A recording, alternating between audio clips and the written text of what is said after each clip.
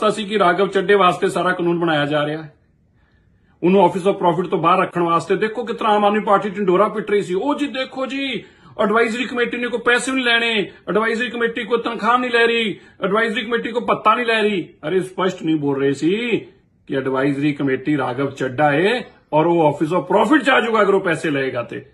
ਸਰਕਾਰ ਨੂੰ ਹਥਿਆ ਲਿਆ। ਭਗਵੰਤ ਮਾਨ ਜੀ, ਅਸੀਂ ਤੁਹਾਨੂੰ ਬਾਰ-ਬਾਰ ਕਹਿੰਦੇ ਰਹੇ, ਲੋਕਾਂ ਨੇ ਮੈਂਡੇਟ ਤੁਹਾਨੂੰ ਦਿੱਤਾ ਸੀ। ਔਰ ਤੁਸੀਂ ਡਾਕਟਰ ਮਨਮੋਹਨ ਸਿੰਘ ਵਰਗੂ ਉਹੀ ਰਸਤਾ ਬੁਲਾਇਆ ਪਾਗੀ ਪੱਗ ਰਹੇਗੀ ਬਾਕੀ ਸਭ ਕੁਝ ਪੰਜਾਬ ਦਾ ਚੁੱਕ ਕੇ ਰਾਘਵ ਚੱਡੇ ਨੂੰ ਦੇ ਦਿੱਤਾ। ਅੱਜ ਰਾਘਵ ਚੱਡਾ ਪੰਜਾਬ ਉੱਤੇ ਰਾਜ ਕਰ ਰਿਹਾ ਕਿਆ ਪੰਜਾਬੀ ਇਹ ਬਰਦਾਸ਼ਤ ਕਰ ਸਕਣਗੇ? ਮੈਂ ਅੱਜ ਇਹ ਜ਼ਰੂਰ ਕਹਿਣਾ ਚਾਹੁੰਦਾ ਹਾਂ ਰਾਘਵ ਚੱਡੇ ਨੂੰ ਵੀ, ਜਿੰਨੀ ਮਰਜ਼ੀ ਤੂੰ ਕੋਸ਼ਿਸ਼ ਕਰ ਲਈ। ਇਹ ਮਹਾਰਾਜਾ ਰਣਜੀਤ ਸਿੰਘ ਦਾ ਪੰਜਾਬ ਆ।